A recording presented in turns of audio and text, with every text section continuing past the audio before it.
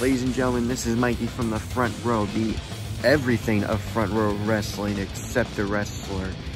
And I'm here to give you two for one deal on Deathapalooza announcements. As you saw in that picture, there's only one match that really goes with that picture. 10 years, over 10 years in the making, is this finale. Barbed wire death match, Madison Square Garden, live on YouTube. July the 4th, Deathapalooza.